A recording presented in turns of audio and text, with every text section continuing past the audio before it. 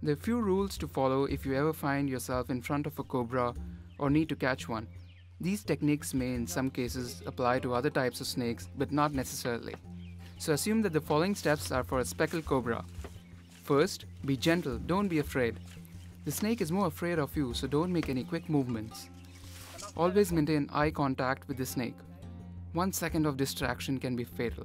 Never assume anything. Even the best snake catchers have been bitten for not following this rule. Always grab the snake by its tail while keeping the rest of your body as far away as possible. Make sure you use a firm but gentle grasp. When the snake approaches you, lift the tail. Remember that a cobra like this one can be around 2 meters long. When handling a snake, it will squirm, which is natural. Hold the snake by the tip of its tail. The snake doesn't sense anything above the genitals. If you touch its body, it immediately assumes you're dangerous. Grab a stick or any other long, slender object. Keep in mind that the object should be smooth. Distract the snake with the stick. Then, firmly grasp its tail and lift it upward, leaving the front part of its body on the ground. Be sure to keep your legs and body as far away as possible. Pin the snake down by placing the stick directly behind its head and applying pressure.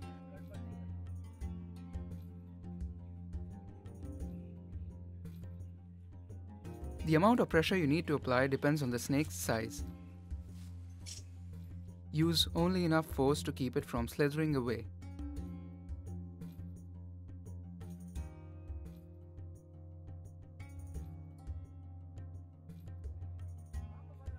Drop the tail and grab the pin snake by the neck as close to the head as possible.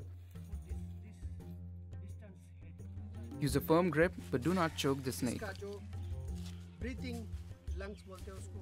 Hold the head from the side so you don't squeeze the trachea. You should be able to hear the snake's breathing. A cobra's fangs are quite small. Cobra bites are seldom painful, but they are still very dangerous. Their fangs contain poisonous venom, and when bitten, a person could die from respiratory failure or cardiac arrest.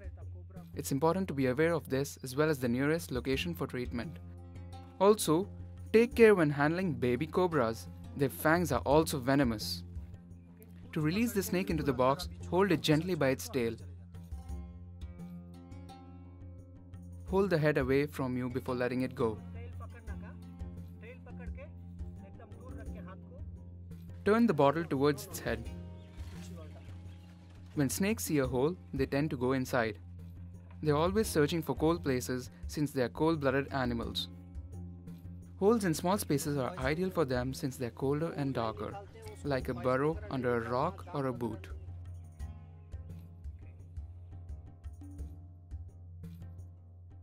Push its body gently with the lid.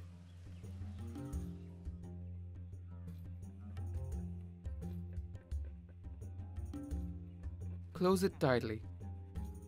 You can also put the snake in a bag, but be sure that the bag is thick enough.